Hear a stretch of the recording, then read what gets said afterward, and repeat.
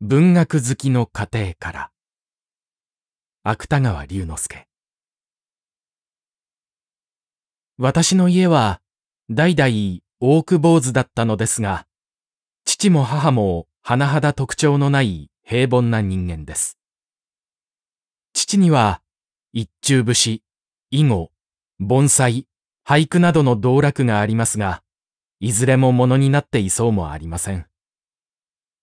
母は津藤の姪で、昔の話をたくさん知っています。その他に、おばが一人いて、それが特に私の面倒を見てくれました。今でも見てくれています。うち中で顔が一番私に似ているのもこのおばなら、心持ちの上で共通点の一番多いのもこのおばです。おばがいなかったら、今日のような私ができたかどうかわかりません。文学をやることは誰も全然反対しませんでした。父母をはじめ、おばもかなり文学好きだからです。その代わり、実業家になるとか、工学士になるとか言ったら、かえって反対されたかもしれません。芝居や小説は随分小さい時から見ました。千の團十郎、菊五郎、州長なども覚えています。私が初めて芝居を見たのは、團十郎が斎藤蔵之介をやった時だそうですが、これはよく覚えていません。何でもこの時は、蔵之介が馬を引いて花道へかかると、桟敷の後ろで母におぶさっていた私が、嬉しがって大きな声で、ああ、馬園、と言ったそうです。二つか三つくらいの時でしょう。小説らしい小説は、泉京香氏の化けイチョウが初めだったかと思います。もっともその前に、大和文庫や妙妙車のようなものは卒業していました。これはもう、高等小学校へ入ってからです。鑑定芥川龍之介三円で家庭の山水を買ってきて書斎の床にかけておいたら遊びに来た男が皆その前へ立ってみちゃ願物じゃないかと軽蔑した。滝田チョイン君のごときも上から下までずっと目をやっていけませんなとカッパしてしまった。が、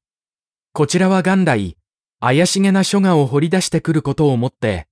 無名の天才に敬意を払うゆえんだと心得ているんだから、僕は家庭だからかけておくのじゃない。絵の出来がいいからかけておくのだ。と豪して、さらに辟易しなかった。けれども、この山水を願物だと称する諸君子は、ことごとくこれを自分の負け惜しみだと猛談した。のみならず、彼らのあるものは、とにかく無名の天才は安上がりでいいよ。などと言って、嫌にニヤニヤ笑いさえした。ここに至る以上、自分といえども、いささか、三円の家庭のために、弁ずるところなきを得ない。そもそも、鑑定家なる者は、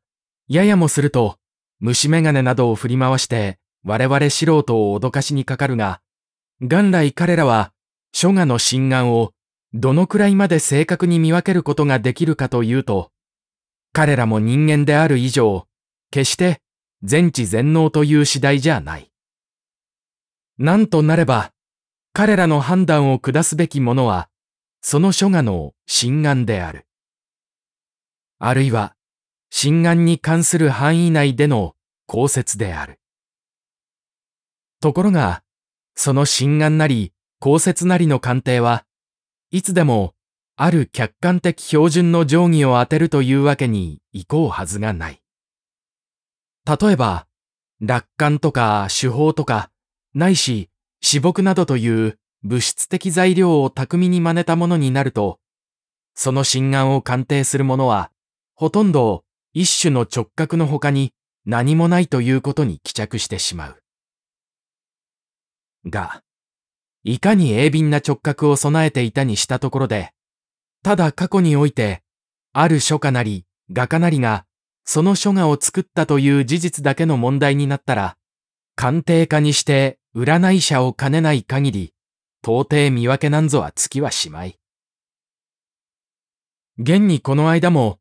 何とかいう男の作った願物の書画は、作者自身も心眼を弁じなかったと言っているじゃないか。よしまた、それほど巧妙を極めた願物でないにしても、鑑定家に良心のある限り、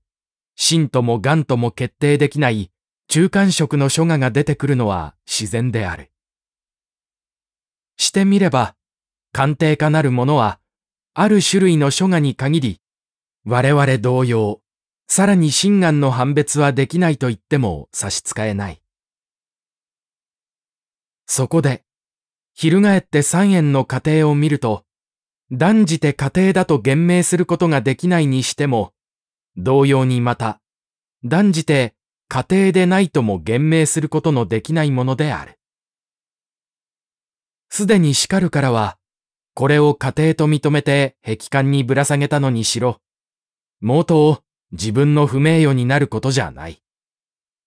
言わんや自分はただ、無名の天才に敬意を表するつもりで、弁じてここまで来ると、大抵の男は、わかったよ、もう無名の天才はたくさんだ、と言った。たくさんならこれで切り上げるが、世間には自分のごとく怪しげな書画をもてあそんで、無名の天才に敬意を払うの死が、存外多くはないかと思う。それらの死は、俗悪なる神画に、巨万の黄金を投げ打って顧みない天下の富豪に比べると、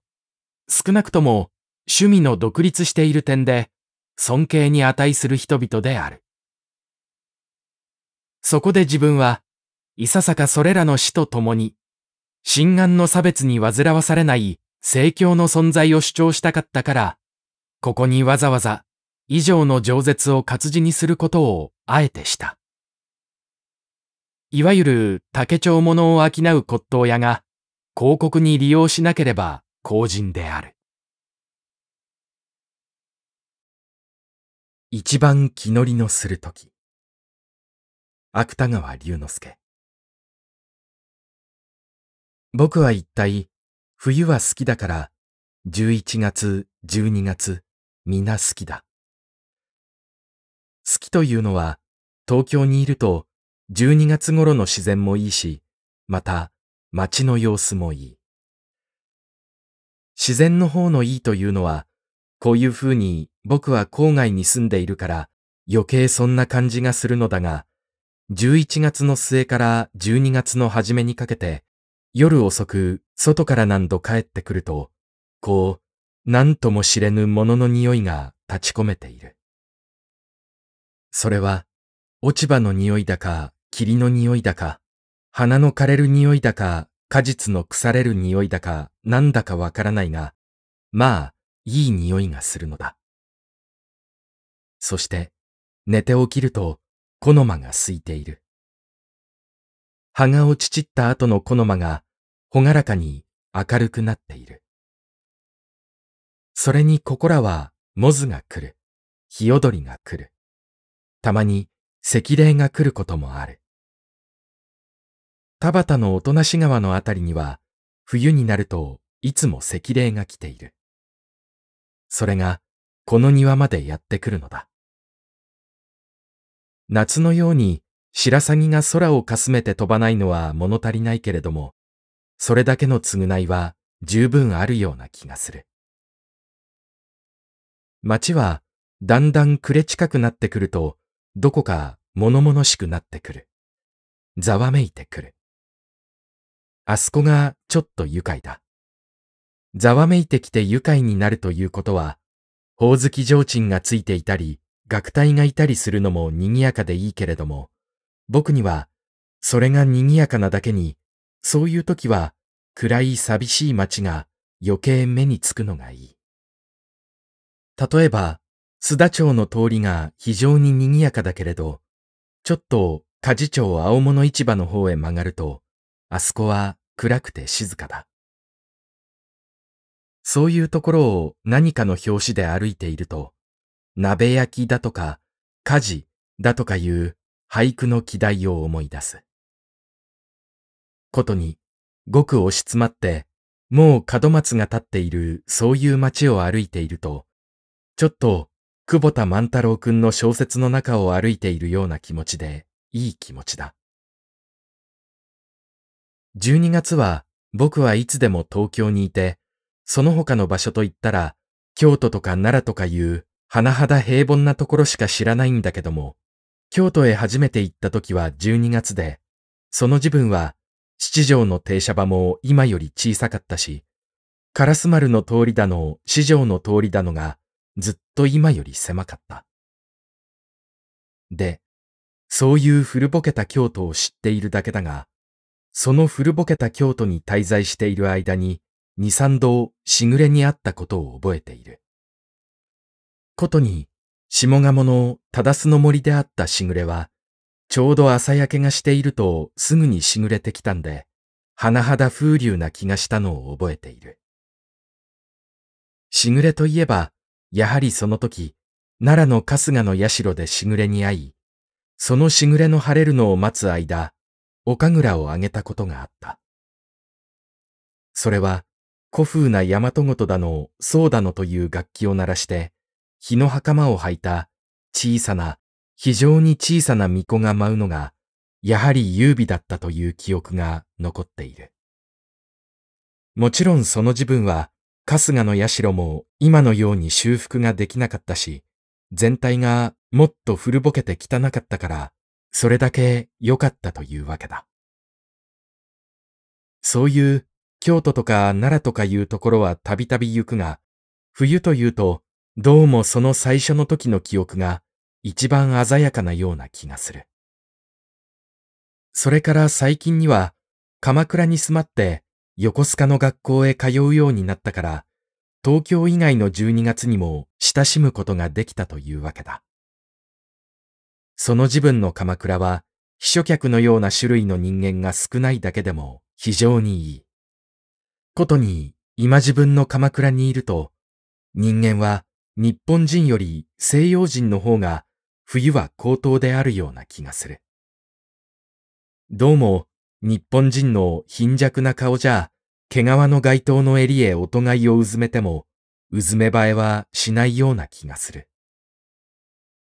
東進鉄道あたりの従業員は、日本人とロシア人とで、冬になるとことにエネルギーの差が目立つということを聞いているが、今頃の鎌倉を闊歩している西洋人を見ると、そうだろうと思う。もっとも、小説を書く上においては、むしろ夏よりは11月、12月、もっと寒くなっても冬の方がいいようだ。また、書く上ばかりでなく、書くまでの段取りを火鉢に当たりながら漫然と考えているには、今頃が一番いいようだ。新年号の諸雑誌の原稿は、大抵11月いっぱい、または12月の初めへかかる。そういうものを書いているときは、他の人は寒いだろうとか何とか言って気にしてくれるけれども、書き出して油が乗れば、タバコを飲むほかは、ほとんど火鉢なんぞを忘れてしまう。それに、その自分は、襖だの障子だのが立て切ってあるものだから、自分の思想や情緒とかいうものが部屋の中から逃げ出してゆかないような安心したところがあって、よく書ける。もっとも、よく書けると言っても、それは必ずしも作の出来栄えには比例しないのだから、もちろん新年号の小説はいつも傑作ができるというわけにはいかない。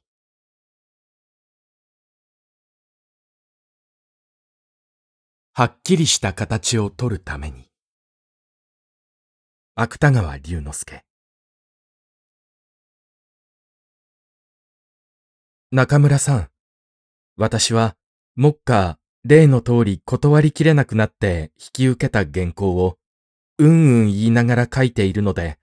あなたの出された問題に応じるだけ頭を整理している余裕がありません。